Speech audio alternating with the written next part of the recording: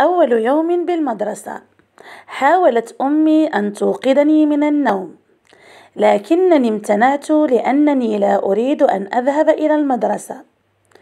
اضطرت أمي إلى حملي ووضعتني في الحمام أمام الصنبور لم أحرك يدا ولا قدما قامت هي بغسل وجهي ويدي وشعري ثم حملتني إلى دولاب الملابس.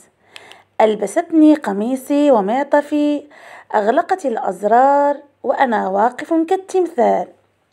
وعندما قامت بتصفيف شعري عدته إلى وضعه الأول.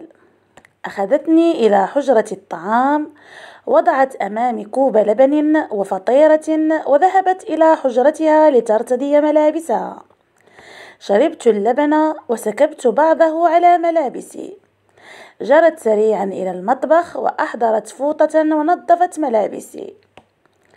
في المدرسة كان كل شيء جميلا.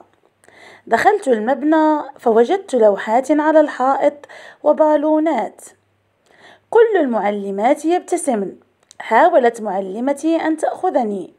فتمسكت بثياب أمي وقلت لها لا تتركيني هنا. رأيت كل الأطفال يبكون. أخذتني المعلمة بحنان إلى داخل الفصل وقالت لي أين تريد أن تجلس؟ اهتديت إلى ركن في الفصل حيث يجلس دب أبيض أخذت مكاني بجانبه فقال لي أهلا بالصديق الجديد ما اسمك؟ اسمي إياد وأنت ما اسمك؟